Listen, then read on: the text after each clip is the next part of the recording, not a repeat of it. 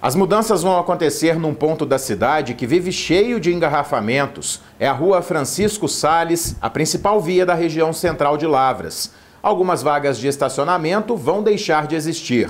De acordo com o gerente de trânsito da prefeitura, essas alterações são para melhorar o fluxo de veículos. Nós vamos proibir o estacionamento do lado direito, da, do bazar da época ali, Azarias Ribeiro ali, eu acho que chama aquela rua, até lá na Melo Viana, até na funerária Carvalho. Nós não vamos deixar estacionar ali. Na Melo Viana, de um lado só que vai poder estacionar. As faixas que indicam as mudanças já vão ser colocadas em breve e as alterações começam a valer a partir do início de fevereiro. O gerente de trânsito da prefeitura também conversou com a gente sobre os sinais de trânsito.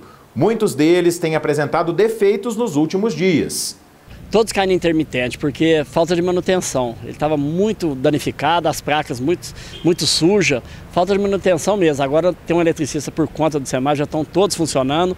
Às vezes dá um probleminha, mas é por causa de chuva. Tanto é que dá à noite, o horário que chove, está chovendo né, toda noite, aí molha porque não estão isoladas as caixas e ele é todo computadorizado, sempre dá problema.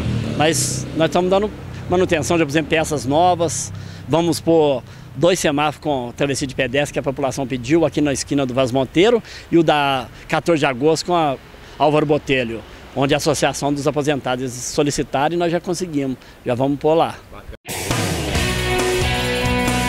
Lavras.tv, a sua TV na internet.